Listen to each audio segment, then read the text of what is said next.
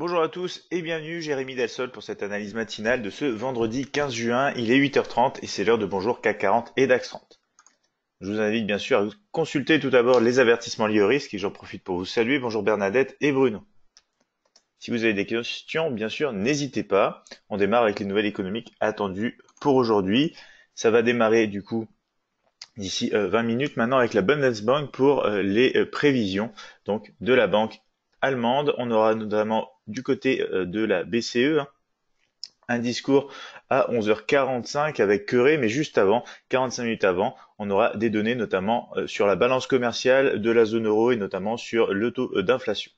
On retrouve ensuite cet après-midi uniquement des données américaines, hein, avec euh, pour démarrer à 14h30 l'indice Empire State manufacturier. On retrouve aussi la production industrielle. Alors ici, ce sera à partir de 15h15. Hein. On aura notamment donc euh, l'indice Michigan sur euh, le sentiment des consommateurs, ainsi que donc les attentes sur cet indice, les anticipations sur l'inflation sur 5 ans et on aura bien sûr ici en fin de journée d'autres nouvelles américaines. Je vous le disais, c'est purement américain cet après-midi avec notamment à 22h les placements obligataires à l'étranger, notamment les flux nets long terme et euh, le capital net global des flux.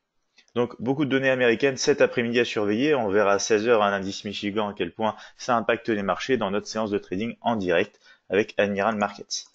Alors, on va passer maintenant au support et résistance de la journée. On démarre comme d'habitude avec l'indice européen, un CAC 40 CFD, premier support présent actuellement au 5535, suivi des 5520, 5500, des résistances et obstacles à la hausse à partir des 5565, 5590 et 5610.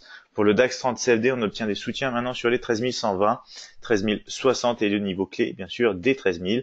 Les résistances donc font face sur les 13 200, 13 280, 13 350.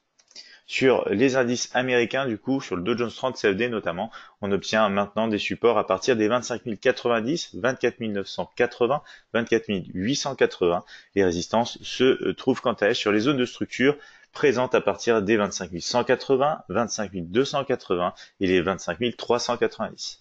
Sur le Nasdaq 100 CFD, on a une zone de soutien maintenant sur les 7270 tout d'abord. Ensuite, on retrouve les 7230 et les 7200. Les résistances démarrent maintenant sur les 7320, 7380 et finissent pour l'instant sur les 7420. Sur le marché des matières premières, avec le Gold CFD pour l'or, on a un premier support visible, donc toujours dans la zone des 1295, 1290 et 1285. Les résistances seront bien sûr à partir du niveau clé tout d'abord des 1300, 1305 et 1310. On va voir, on est revenu un petit peu dans la zone de range. Sur le pétrole avec le WTI CFD, le premier support est toujours sur les 66,75, 66,25 et 65,75. Des résistances à partir des 67,20, 67,80 et 68,50 sur le forex avec la paire euro-dollar. Le premier support maintenant est bien plus bas hein, sur les 1,1560. On va voir que l'euro-dollar a bien baissé. On a notamment les 1,1525 ensuite et les 1,1480. Les résistances se retrouvent à partir du niveau clé des 1,16, 1,1670 et 1,1725. Pour le Bitcoin, BTC USD CFD du côté des crypto-monnaies, on a un support toujours ici sur les 6150, 5720, 5300. Les résistances toujours à partir notamment des obstacles avec les 6600, 6800, 7050. On parlera bien sûr de la crypto-monnaie du jour, ce sera le LTC USD CFD pour le Bitcoin, avec des premiers supports sur les 90, 90 sur les 80 ensuite et enfin sur les 65, des résistances à partir des 99,80, suivi des 104 et des 110. On passe bien sûr à l'analyse graphique MT5. Donc on se retrouve sur la plateforme de trading Admiral Markets MetaTrader 5, le mini terminal toujours ici présent à droite du graphique. Donc on est sur un graphique CAC 40 H4. Ici on est bien à la hausse avec la cassure des 5500 ici et donc de euh, cette zone de structure. Les moyennes mobiles ici se euh, confondent à l'heure actuelle, vont bientôt se croiser. Ça va dépendre bien sûr de ce qui se passe au cours de la séance ici euh, d'aujourd'hui et des prochaines bougies, notamment H4. Le contexte haussier est ici souligné avec le mini terminal, un tendance haussière, momentum positif, force négative. On va passer sur un graphique M30 et on retrouve ici la belle hausse ici, du coup, euh, au cours de la journée précédente, donc avec les scénarios hein, qui avaient du coup autour des niveaux de la journée euh, tout simplement d'hier. On va pouvoir les actualiser maintenant. on va pouvoir notamment avoir un mouvement correctif attendu sous les 5535 en direction des 5520 si jamais le mouvement s'essouffle pour corriger un petit peu bien sûr et on pourrait avoir sinon une poursuite en rebond depuis cette zone de support ou celle-ci pour aller chercher ensuite possiblement les 5565. Le cadre ici M30 est plutôt aussi momentum et force positive aussi avec des moyennes mobiles à la hausse bien sûr. Sur un graphique M5, si je rajoute aussi les derniers points haut et bas, on retrouve notamment des zones intermédiaires. Donc ici, on a une zone intermédiaire de résistance sur les 5555, c'est exactement là où on s'est arrêté. On a notamment les derniers points haut et bas. On casse maintenant, euh, apparemment, hein, pour le moment, les derniers points bas. On teste ce niveau de support des 5535. Si on casse, on fait juste attention puisqu'on a quand même une zone sur les 5530 ici. Donc une zone de 5 points tout simplement à surveiller. Si on casse cette zone, bien sûr, c'est le retracement dont je vous parlais en direction des 5520. Le graphique M5 est déjà en tendance baissière, momentum et force négative sur euh, le mini terminal. Donc en attente de confirmation, bien sûr, sous euh, cette zone pour aller chercher des mouvements de retracement après un large mouvement haussier au cours de la séance précédente ici sur, bien sûr, le euh, CAC 40, l'indice boursier français. On passe maintenant au DAX. Donc graphique journalier ici, en tendance haussière à nouveau au-dessus des 12 900 en rebond sur le nuage des moyennes mobiles et en cassure donc de cette zone de structure ici des 12 900. Donc momentum positif, force négative ici. On a un graphique horaire qui nous indique notamment donc un peu plus en détail ce large mouvement haussier qu'on a vu au cours de la séance d'hier. On a réussi d'ailleurs au cours de la séance euh, de trading de l'après-midi à attraper euh, quelques positions hein, euh, vers le haut. On voit bien ici qu'on commence à s'essouffler aussi, donc on va actualiser les scénarios, mais on va possiblement, un peu comme le CAC 40, avoir très certainement un mouvement correctif au cours de la journée. Et on va regarder ça en détail bien sûr sur un graphique M15, mais ici le contexte bien sûr est à la hausse, moyenne mobile, configuration haussière, pente haussière. On a quand même du momentum et une force déjà qui commence à être négative. Donc ici, on va mettre un graphique M15, les derniers points haut et bas, vous voyez bien, on a cassé à la hausse, on a été rejeté notamment avec le niveau intermédiaire ici des 13 150. On teste maintenant tout simplement le support des 13 euh, 120. On a la moyenne mobile exponentielle 50 juste en dessous. Donc si on casse ce niveau, on peut déjà aller en direction des 13 085 et des 13 060 dans le cadre d'un mouvement de retracement, donc mouvement de retracement à la baisse dans le cadre d'une tendance de fond plutôt haussière. En revanche, si on revient et qu'on arrive à casser donc au-dessus de ce niveau de résistance intermédiaire des 13 150, on aura de la poursuite à attendre en direction des 13 200 au cours de la journée. Sur le Dow Jones 30, on a un mouvement de retracement ici aussi, hein, toujours dans le cadre d'une tendance de fond plutôt à la hausse, avec moyenne mobile en pente haussière, configuration haussière, et un mini terminal qui est euh, au vert hein, sur la tendance, le momentum et la force. Donc juste un mouvement de retracement sur un graphique journalier. On retrouve un graphique horaire plutôt baissier puisqu'on va traduire bien sûr ce mouvement euh, de retracement. On va même voir si on peut euh, peut-être ici voilà commencer à dessiner tout simplement un canal baissier, canal de retracement donc dans le cadre d'une tendance de fond. Pour l'instant, on est sous le niveau des 25 180. Donc hier, on a eu bien eu le scénario qui s'est déclenché pour la poursuite de la baisse. Donc ici, on va tout simplement actualiser ce scénario. Voilà, comme ceci. Si jamais on repasse au-dessus, bien sûr, il faudrait casser hein, quand même cette oblique. Donc voilà, comme ceci, cassure de l'oblique. Hein pour confirmer euh, le retour à la hausse. Mais pour l'instant, on est toujours dans le mouvement de retracement direction les 25 090 en négociation donc dans ce canal baissier ici sur un graphique horaire pour le Dow Jones 30. Sur le Nasdaq 100, toujours en forte tendance haussière, moyenne mobile, configuration haussière et euh, les indications du mini terminal en vert bien sûr, tendance, momentum et force le tout en positif, suite à la cassure aussi ici des 7230, le dernier niveau de structure majeure sur ce euh, graphique journalier. Donc on passe maintenant en graphique horaire, on s'aperçoit qu'on commence à avoir un petit peu plus d'hésitation, un peu d'essoufflement au-dessus des 7270, donc ici on va tout simplement actualiser nos scénarios. Hein.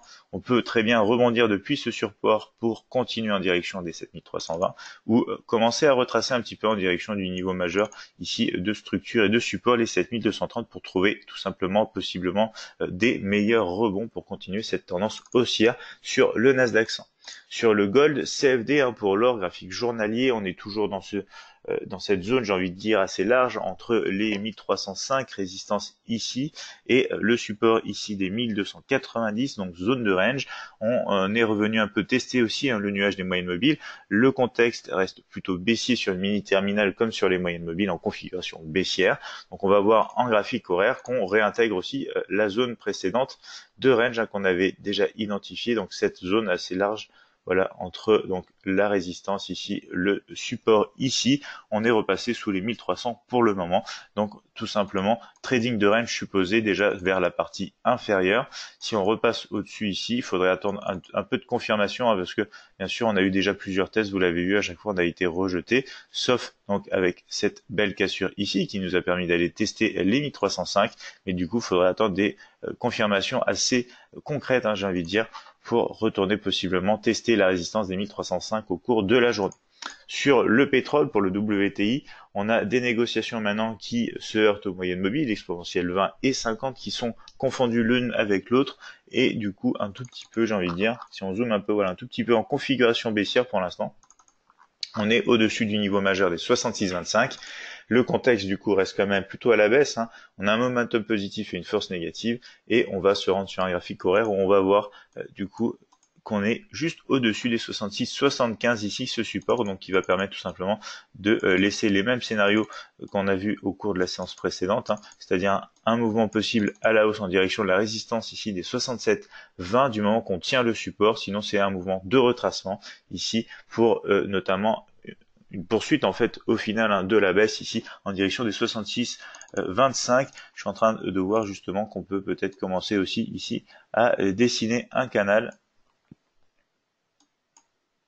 donc voilà, canal haussier ici, en attendant d'être cassé pour de la confirmation bien sûr du côté baissier et retrouver plutôt le ton euh, baissier qu'on a sur l'unité de temps journalière. Donc en attente de confirmation sous le support bien sûr pour un scénario baissier, sinon c'est la poursuite à la hausse dans un cadre hein, plutôt haussier sur ce graphique horaire momentum et force positive sur le pétrole.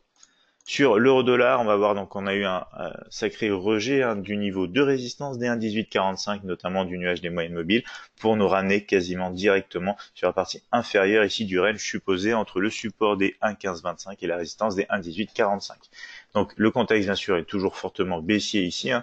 On a un graphique horaire qui nous démontre bien ici les négociations et les fortes pressions vendeuses hein, qu'on a connues au cours donc, de la journée d'hier. Pour l'instant, on s'est arrêté sur le niveau des 1,1560, juste au-dessus des 1,1525. Donc en termes de scénario ici, bien sûr, je vous rappelle qu'on le retrouvera cet après-midi au cours de la séance.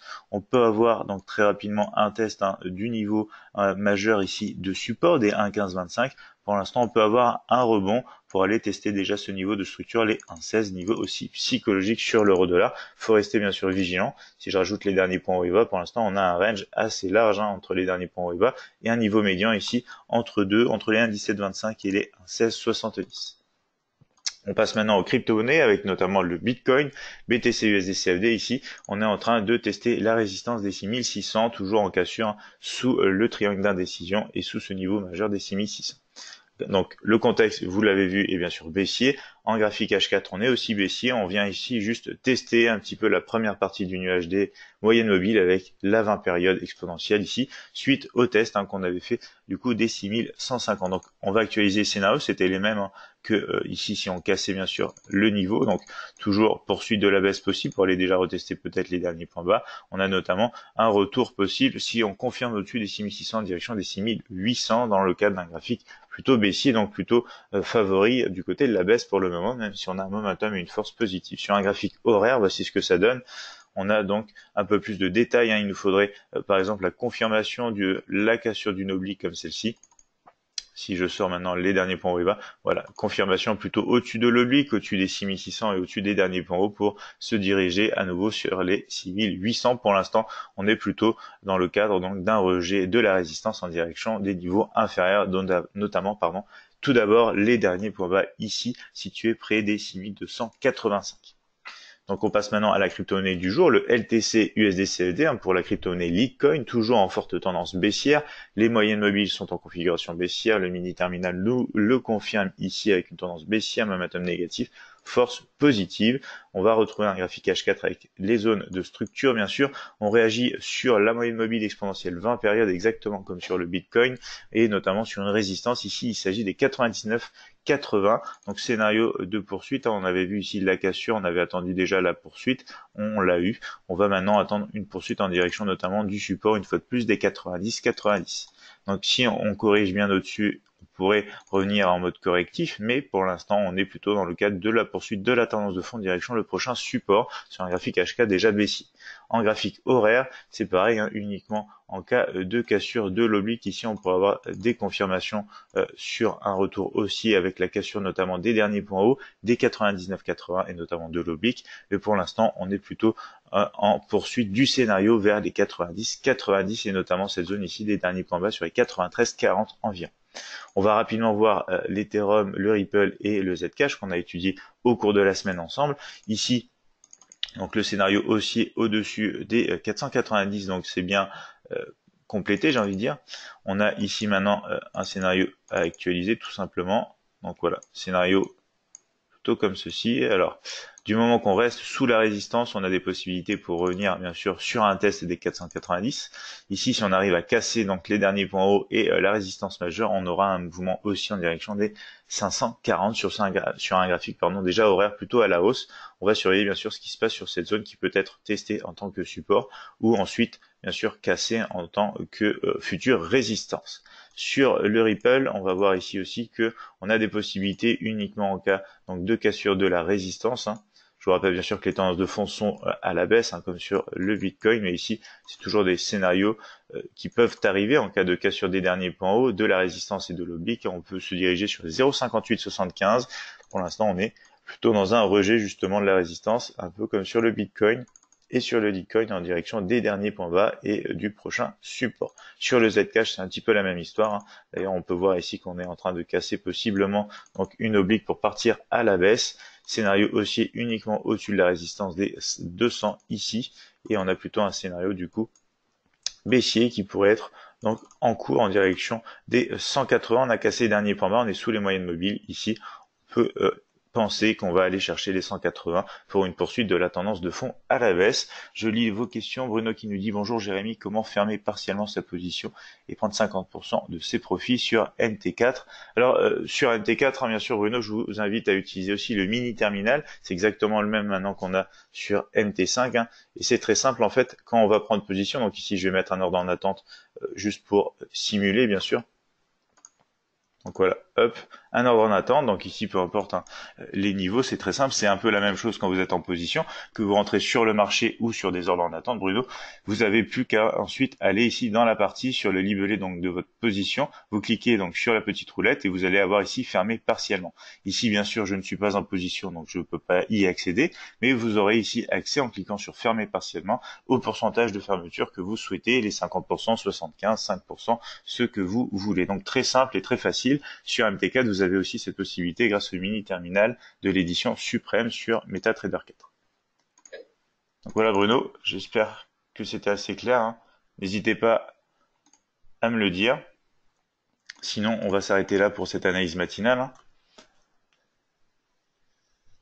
Donc voilà, Bruno qui nous dit ok, super, merci, j'ai le mini terminal, parfait Bruno, très bien. Donc pour ceux d'entre vous qui nous regardent depuis la chaîne YouTube, hein, je vous invite bien sûr à vous y abonner. Euh, vous avez de plus en plus d'informations sur notre site internet admiralmarkets.fr. Merci d'avoir été présent ce matin, Bernadette et Bruno. On se retrouve du coup cet après-midi pour une nouvelle séance de trading en direct. Je vous souhaite bien sûr de passer une excellente matinée et un bon trading d'ici là.